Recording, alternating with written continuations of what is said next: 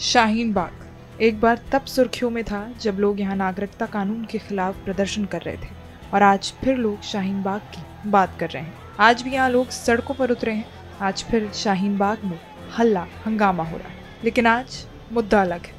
दरअसल यहाँ आज से अतिक्रमण विरोधी अभियान चलाया जाना है। इसके लिए एमसीडी के बुलडोजर जैसे ही शाहीन बाग पहुँचे, हंगामा शुरू हो गया। कार्रवाई के विरुद्ध में लोग बुलडोजर के सामने लेट गए। कुछ महिलाएँ बुलडोजर पर चढ़ गईं। वहीं कुछ जगहों पर लोग सड़कों पर ही धरने पर बैठ गए। हंगामा बढ़ते देख पुलिस ने लोगों को वहाँ से हटाया। कुछ लोगों को हिरासत में भी लिया गया है। इसके बावजूद कार्रवाई का विरोध जारी है। इधर सुप्रीम कोर्ट में भी आज शाहीन बाग में अतिक्रमण विरोधी मुहिम के खिलाफ दायर याचिका पर सुनवाई हो सकती है।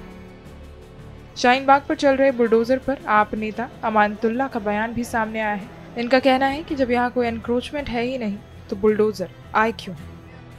सारे आर के साथ में निकला। जो जो इंक्रोचमेंट था जहाँ जहाँ मैंने सब हटा दिया। मेरे आह्वान पे लोगों ने हटा लिया और मैं शुक्र अदा करता हूँ अपने इलाके के लोगों का कि उन्होंने हमारे मान सम्मान को रखा। एक मस्जिद के सामने वज़ू खाना था टॉयलेट था। वो मैंने खुद से अपनी दो दिन जेसीबी दे करके अपनी फ्लड इरीगेशन से, अपने पैसे से दो दिन खुद दे करके खुद हटवाया। जब यहाँ कोई इंक्रोचमेंट है ही नहीं तो ये आए क्यों है?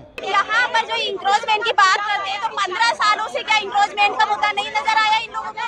पूरी दिल्ली के अंदर इंक्रोचमेंट करना था तो पंद्रह साल में एमसीडी कहाँ सो रही थी? सरकार कहाँ सो रही थी? क्यों? शाहीन बाग को क्यों मुद्दा बनाया जा रहा है? जहांगीरपुरी जैसे सिर्फ़ मुसलमान एरिया को क्यों मुद्दा बनाया जा रहा है? इंक्रोचमेंट के नाम से किस लिए बनाया जा रहा है? हम लोग यहाँ इसीलिए क्योंकि हम यहाँ पे रोजन नहीं चलने देंगे बता दें, इससे पहले पुलिस फोर्स न मिलने की वजह से सोमवार को अतिक्रमण हटाने की कार्रवाई शुरू होने को लेकर संदेह बना हुआ था। लेकिन करीब साढ़े दस बजे दिल्ली पुलिस ने फोर्स मुहैया कराने पर रजामंदी दे दी और 11 बजे के लगभग एमसीडी के बुलडोजर शाहीन बाग के मुख्य सड़कों पर पहुँच गए। दिल्ली पुलिस से फोर्स मिलने के बाद दक्षिण दिल्ली एमसीडी ने अगले पाँच दिनों तक अतिक्रमण हटाने का अभियान चलाने की तैयारी पूरी कर ली है। इसके मुताबिक आज यानी 9 मई को दिल्ली के शाहीन बाग इलाके में अतिक्रमण और अवैध निर्माण के खिलाफ कार्रवाई की जाएगी।